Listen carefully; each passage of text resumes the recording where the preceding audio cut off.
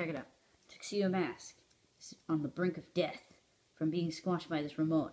And Tuxedo Mask is horrified. And, and he's like, No, my brother, please save yourself. Uh. To open? I'm going to open up one of these Tuxedo Mask Gashapon balls here. Oh. I'm going to attempt to open one because these are kind of funny. They have almost like a lock system. It's quite different from the other Gashapons that I have. Alright, so we have a pamphlet. Hmm. Here's the pamphlet. Got tuxedo mask and all sexy and shit like, hey, you let's hold cell phones together.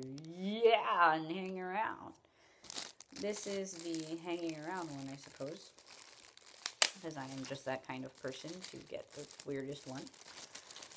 Uh, there he is. He's, uh, doing a little funny little thing. I don't know. He's, uh, praying to Jesus. Jesus, Lord, save the Sailor Scouts. I don't, I don't really know.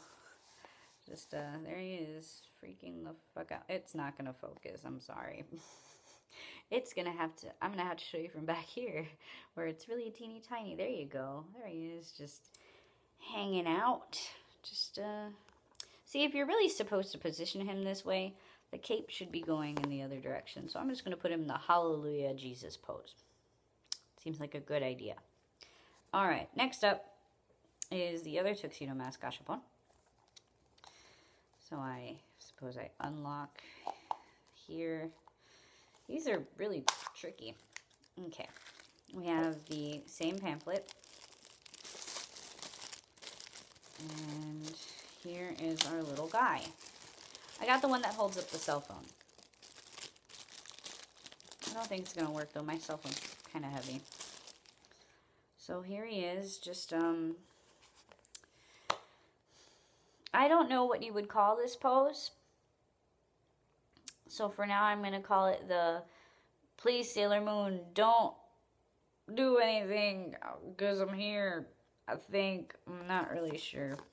I don't know. It's, it's a quite curious, curious little figurine. It's, um, it's actually a pretty good size. Um, it's tiny, but uh, it's cool. I think it's cool.